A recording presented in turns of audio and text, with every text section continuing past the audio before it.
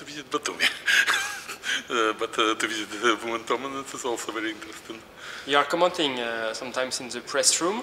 You have seen the games. Can you tell us your opinion about the level of the games of this uh, woman?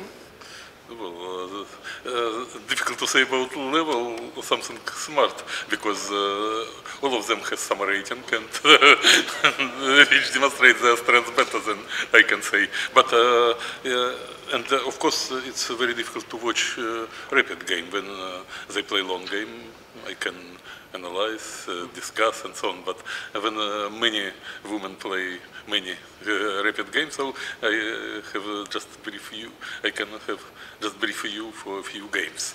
Uh, uh, so it's very difficult to judge, really judge. You are known as a specialist of endgame, rook endgames. You have seen some endgames here. Yes, uh, of course, uh, and uh, some of them. Um, uh, so very strange uh, uh, players uh, did not play well, but from other hand, it, uh, firstly, uh, that uh, uh, usually, practically in all games, they play such end games in very strong uh, time trouble, so they practically have seconds for moves. Uh, everybody make mistake in such positions. Uh, you saw it in last World Championship tie, tie break. So after such after this game which was played in tie break, already it's difficult to say something about uh, other games.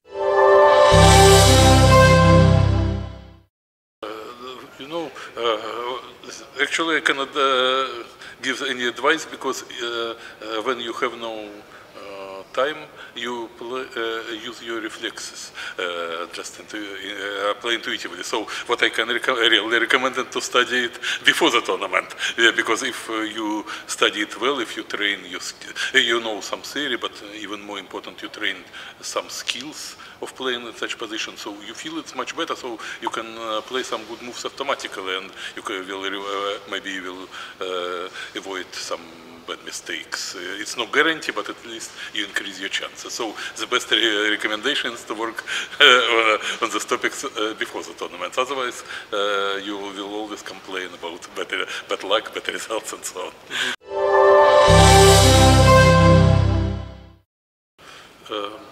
Well, I believe that uh, the mm, contents of game changed a little bit because uh, uh, women know theory better than before, follow some theoretical lines. I don't think that uh, general skill improved. Maybe in some areas even uh, even uh, opposite is correct because in past we, uh, at least when I worked with. Uh, uh, say Nana Alexandria, she's uh, uh, chief arbiter here.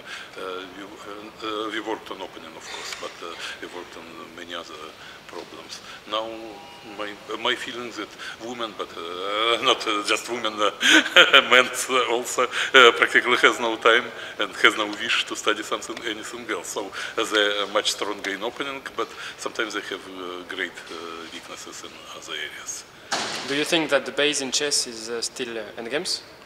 No, I, I cannot say that something is the basis of chess. The basis of chess is a good play, very skill of uh, good play in uh, various kind of positions. So you uh, should be good tactician. You should be able to evaluate position quickly. You should be able to react on unexpected move of opponent. So uh, be psychologically stable. So there are many uh, different skills which you need uh, during the game. Open preparation is, uh, of course, uh, extremely important for chess players, uh, no doubt. But a uh, open preparation itself, without other skills, uh, it's uh, will not will not help too much. So uh, I can I cannot say about basis. Basis is uh, just harmonical development in chess, uh, including opening, endgame, uh, and tactical vision, evaluation, and so on.